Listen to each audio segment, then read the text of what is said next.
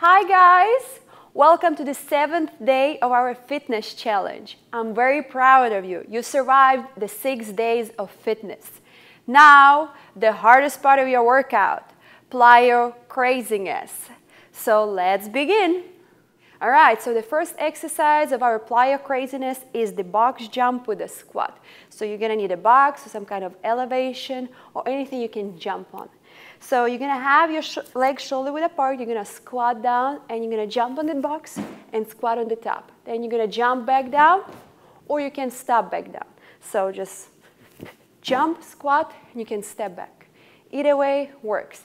If you want to make it easier, we can eliminate the jumps. We're just going to step with your right leg, squat, step down with your right leg, then step up with your left leg, squat, and step down with your left leg.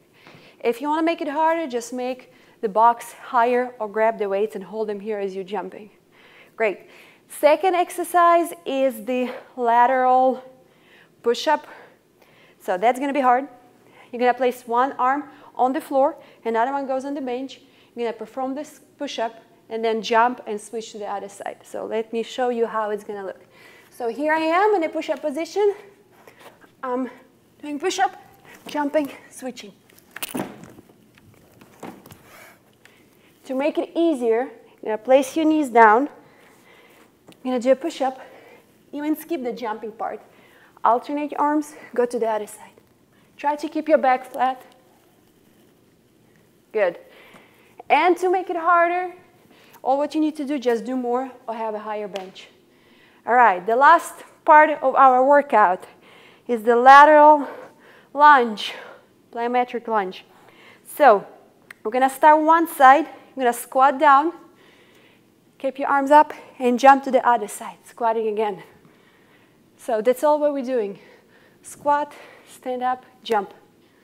To make it easier, we can eliminate the jump so you're going to step wide, squat, step, squat, step, squat.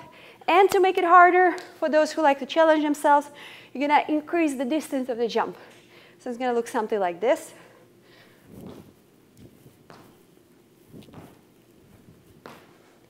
Make sure you keep your weight on your heels and don't let your knees pass your toes. All right, each exercise will be done 12 times. So let's begin.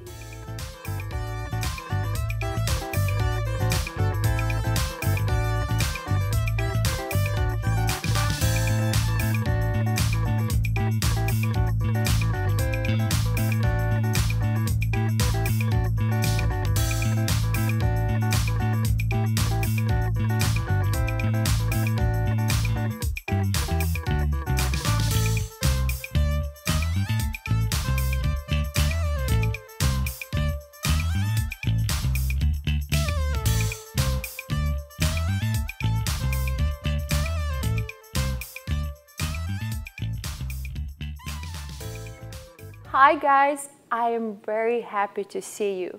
If you're watching this video, you successfully completed our 7 days of fitness challenge.